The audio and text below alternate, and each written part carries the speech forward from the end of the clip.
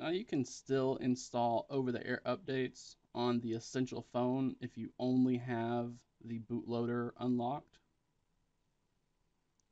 However, Google's SafetyNet checks does monitor whether or not you have the bootloader unlocked. If your bootloader is unlocked, then you cannot use certain applications that require that to pass successfully. And this includes Android Pay. I know for a while Netflix was using it, and uh, some banking applications use it as well. And you'll notice if that whenever your bootloader is unlocked, you're going to get this warning screen that pops up during the boot cycle. So today I'm going to show you how to lock the bootloader of the Essential phone so that you can pass SafetyNet checks and go back to using Android Pay and any of the applications that require that check. before we can do this, we're going to need to have some stuff set up on our computer, including ADB and fastboot tools. We're going to need to have a command prompt open. But all this is the same stuff that was required of whenever you unlock the bootloader. So you should have that stuff set up already, but I will be including links and step-by-step -step instructions for all of that in the full tutorial, which will be linked below this video.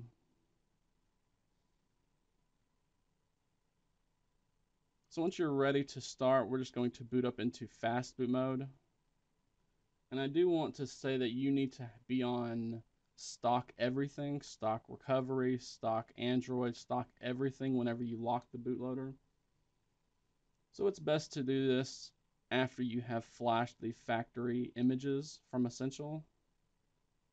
And I'll be going over that in a future tutorial.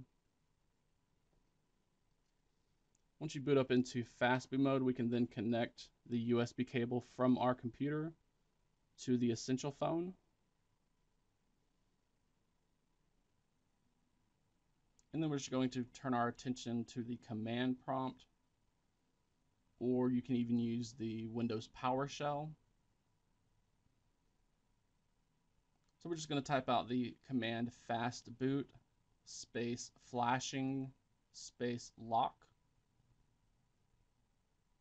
which is somewhat familiar to the unlock command. We're just replacing unlock with lock. And then we're going to press enter on the keyboard.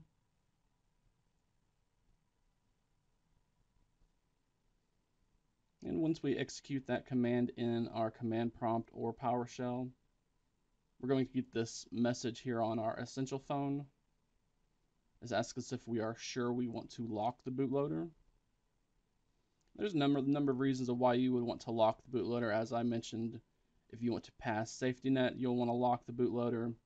If you're selling the phone or giving it to a friend or family member, you're going to want to lock the bootloader just so that they know everything is trusted. So since the touch interface does not work here, we're going to be using the volume up and volume down buttons to select the yes option. And then we're going to press the power button to select it.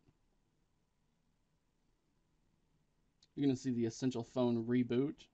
And at this time, we can just go ahead and unplug that USB cable. It's going to do the factory reset, as you just saw. And then it's going to boot us back into Android, except it's going to be the Android activation screen since it just did that factory reset.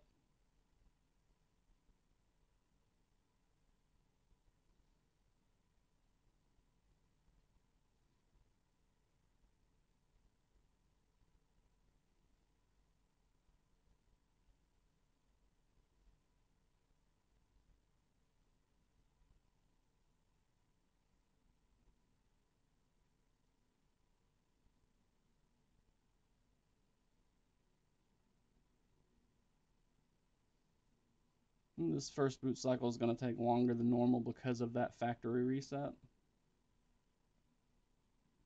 And we just want to be patient during this process as it's going to eventually boot back up. We feel the vibrate.